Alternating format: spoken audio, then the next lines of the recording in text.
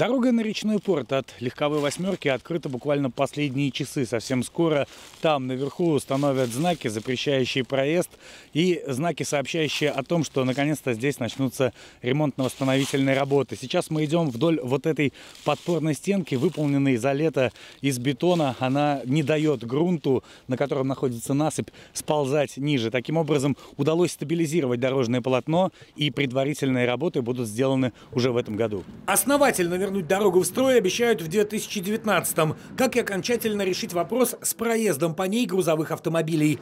Последний курсирует здесь до последнего, несмотря на сокращение подходящей для проезда проезжей части почти в половину и существенный уклон оставшегося участка. Но дальше ползти не должно, говорят специалисты. Подпорная стенка справилась. Сейчас вот э, все стабилизировалось, то есть уже, как вот мы наблюдаем каждый день, уже самого вот выпускания вот этой площадки нет. Поэтому в настоящее время будут сейчас предприняты работы для обеспечения без э, аварийного проезда. То есть данные блоки, которые сейчас видите, мы их уберем, отсыпем щебенкой, полотно выровняем и поставим блоки, и будет пока э, Э, проезд до э, уже весеннего периода. Безусловно, дорога в Речпорт важная, можно сказать, знаковая для областного центра. Но, судя по трафику, до полноценной транспортной артерии города-полумиллионника не дотягивающая. Другое дело вот этот мостовой переход через Свиягу. Здесь и автодорога, и трамвайные пути, и пешеходная зона. И если на своих двоих или на электротранспорте пересечь реку пока еще не проблема, то с движением на колесах трудности ощущаются уже не первый месяц. К большому сожалению, ульяновцев работа на мосту мосту через Свиягу в районе улицы Пушкарева продолжится еще какое-то время. Это связано с необходимостью ремонтных восстановительных работ на деформационных швах.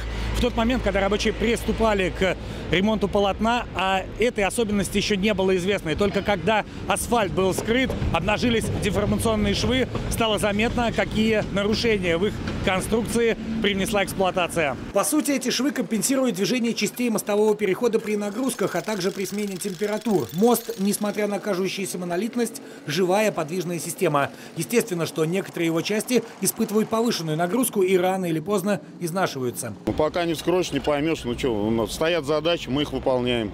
То есть у нас первый, первая задача демонтажа, когда демонтируется уже на месте, мы начинаем разбираться. Вот вы можете, кстати, приблизить камеру, увидеть там состояние данного деформационного шва. Если бы швы оказались в порядке, с ремонтом дело бы не стало. Однако имеем то, что имеем. И уж если делать по правилам и на совесть, значит делать. Мы его разворачиваем.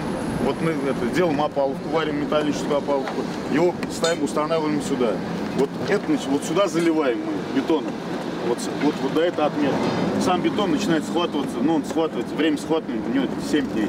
Проезжую часть моста с учетом работ по швам сегодня обещают завершить к 5 ноября. Осталось добить три шва, центральные и боковые, после чего ремонту суждено выйти в сектор с трамвайными путями. Здесь, говорят подрядчики, работы будет ничуть не меньше. Город подтверждает, 15-му маршруту придется уйти с 18 и 19 микрорайонов. Сейчас обсуждаем как раз по поводу движения трамваев. А, скорее всего, будем две трамваи закрывать. Сейчас с электротранспортом обсудим по времени, что и когда, когда население соответствующую информацию довезем. А закрытие трамваев это на каком участке Это, получается, маршрут номер 15, участок от улицы Азовской до улицы Карла Маркса. Будет закрываться, соответственно, скорее всего, 15 маршрут будем пускать через центр тогда, пока время. Так что придется терпеть, как и в случае с автомобильной дорогой. С другой стороны, этот мост действительно давно требовал ремонта. С учетом того, что превыше всего все-таки безопасность, временные неудобства с отсутствием привычного для многих средства передвижения можно перетерпеть. Евгений Луковкин, Геннадий Бухтаяров, репортер 73.